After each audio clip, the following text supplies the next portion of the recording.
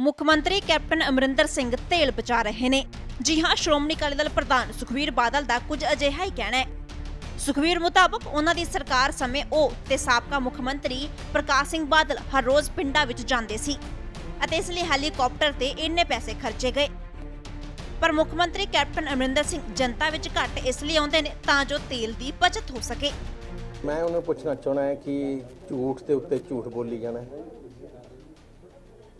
ਇੱਕ ਪਾਸੇ ਇੱਕ ਮੁੱਖ ਮੰਤਰੀ ਹੈ ਜਿਹੜਾ ਜਾਂਦਾ ਹੀ ਨਹੀਂ ਕਿਤੇ। 12000 ਪਿੰਡਾਂ ਵਿੱਚ ਬਾਦਲ ਸਾਹਿਬ ਮੈਂ ਬਾਦਲ ਸਾਹਿਬ ਕਿਤੇ ਨਾ ਕਿਤੇ ਰੋਜ਼ ਤੁਹਾਡੇ ਕੋਲੇ ਹੁੰਦੇ ਸੀ। ਕਿ ਕਿੰਨੇ ਵਾਰ ਮੁੱਖ ਮੰਤਰੀ ਸਾਹਿਬ ਆਏ ਇੱਥੇ?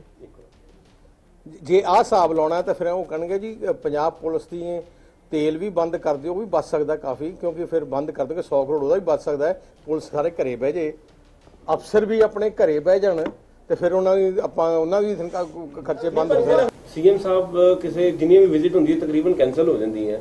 ਸੀਐਮ ਸਾਹਿਬ ਪਹੁੰਚਦੇ ਨਹੀਂ ਉੱਥੇ। ਉਹ ਪੈਟਰੋਲ ਬਚਾ ਰਿਹਾ ਸਰਕਾਰ ਦਾ। ਦੱਸਦੇ ਕਿ ਬੀਤੇ ਦਿਨੀ ਹੀ ਕੈਬਨਿਟ ਮੰਤਰੀ ਨਵਜੋਤ ਸਿੰਘ ਸਿੱਧੂ ਨੇ ਇੱਕ ਆਰਟੀਆਈ ਦੇ ਹਵਾਲੇ ਤੋਂ ਖੁਲਾਸਾ ਕੀਤਾ ਸੀ ਕਿ ਬਾਦਲ ਪਰਿਵਾਰ ਸਰਕਾਰੀ ਹੈਲੀਕਾਪਟਰ ਨੂੰ ਲੋੜ ਤੋਂ ਵੱਧ ਵਰਤਦਾ ਸੀ।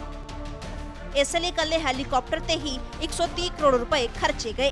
ਜਿਸ ਦੇ ਬਾਅਦ ਅੱਜ ਅੰਮ੍ਰਿਤਸਰ ਪਹੁੰਚੇ ਸੁਖਬੀਰ ਬਾਦਲ, ਕੈਪਟਨ ਸਰਕਾਰ ਤੇ ਵੀ ਵਰੇ ਅਤੇ ਨਵਜੋਤ ਸਿੰਘ ਸਿੱਧੂ ਤੇ ਵੀ।